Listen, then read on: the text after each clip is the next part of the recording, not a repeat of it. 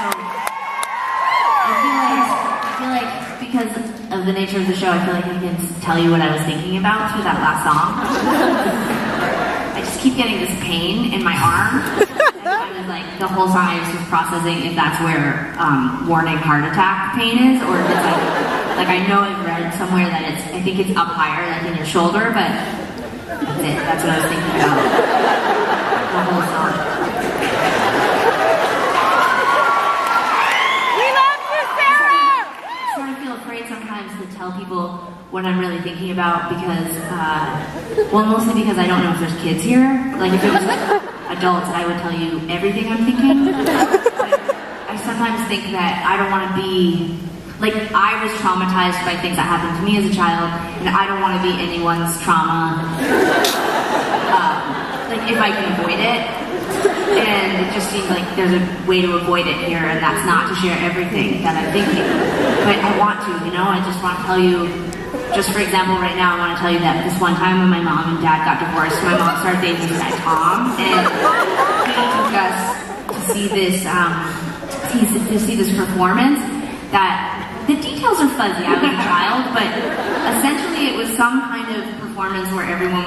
I'm, I'm thinking of this because it makes sense as I'm saying it out loud. I'm thinking of this because all the people in the performance were wearing all black like we are, and anyways, it they were holding puppets and they were making they were like the puppets and all the things were like glow in the dark, and then you could, could kind of see the human beings moving the puppets. Anyways, it sounds like a cool idea that adults would come up with for a show for kids, but as a child, I was extremely disturbed because I had been watching like Sesame Street, so I didn't even know that puppets weren't real. Really, I didn't understand that there was human beings like literally inside of the puppet, making the puppet like entertain me. And so I don't know that I had like a total articulate understanding of like what bothered me about it, but I think like there was something to do with like me feeling like I was being controlled as a child by adults and like wanting my autonomy even as a person. That is not. I, But just wait, I I'm not remember, done. I and I also have some trauma around Tom. Yeah. None of it is about autonomy and adults becoming puppets. It's all about the fact that No, not becoming puppets. Like they were controlling Yeah, the no, thing no, that I I so strongly identified with. Like I identified with puppets, not the human beings. That for me, what bothered me was like Tom pulling mom onto his lap. yeah.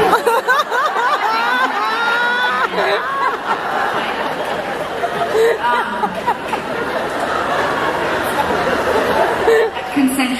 assume. Yeah, yeah, yeah. We were dating. I just mean like, but our parents had just gotten divorced, and we were like six. Okay, I mean, well, now you're making me like I need to defend mom. I mean, she was a grown woman. Like, I mean, she wasn't just like out like hitting like. I mean, they didn't have Tinder back then, but like she wasn't like out there like just like I gotta find me a, a man or whatever to replace Steven, you know, or whatever. Like she Give their names. Anyways, I guess I'm just, I I just, something's triggering me right now. It's making me think of that puppet performance, and I was thinking like, my mom could never have known that that was gonna have such a lasting, traumatizing. Moral here? Like, if you have kids, like, why even try? Because it'll fuck them up. Because everyone. No, I guess, I guess, I just, I don't want to be that puppet. You know, I don't want to be that puppeteer for someone tonight. Like I, Yeah, I say that that ship sailed. I don't know if there's. I guess say, it's not helping because it's like you're kind of sparring with me now, so I feel like I'm losing. But anyways, the disclosure here is just that I hope that you have a great time, and if I say anything that triggers you or upsets you, I'm sorry.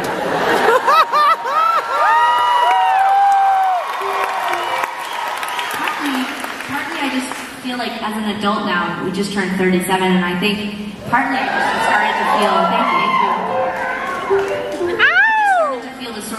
Guilt and sort of sense of responsibility about what it is that I talk about on stage and the stories I tell and the impact of, of putting out music that is just really my side of things. I've been thinking about that a lot. And um, this record is kind of the beginning of like me telling a very, a very like personal story. And thank you to the person who's hysterical.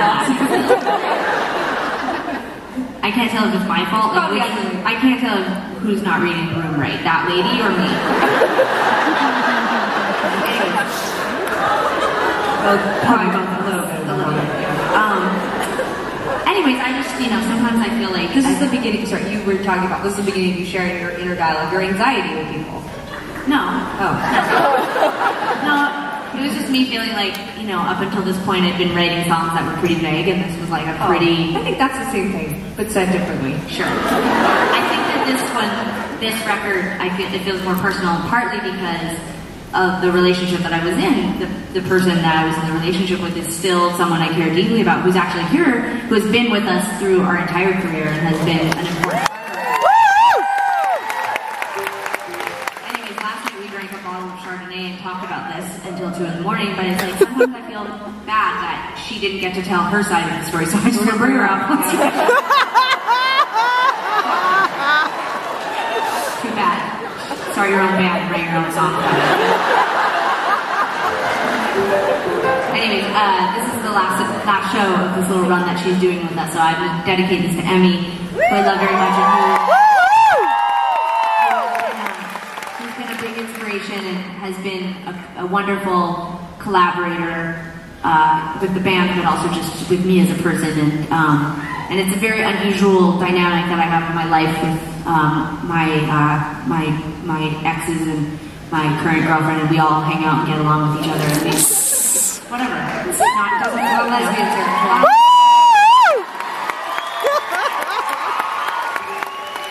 Anyways, I just like it's been on my mind that it's not it's not an easy thing to be in to be in. I'll speak for myself. It's not always easy to be in my life and know that you're going to end up uh, the material at a show um, that reminds me of a puppet show. So, anyways, whatever. Make sense of that how you will. Uh, this song is called Back in Your Head.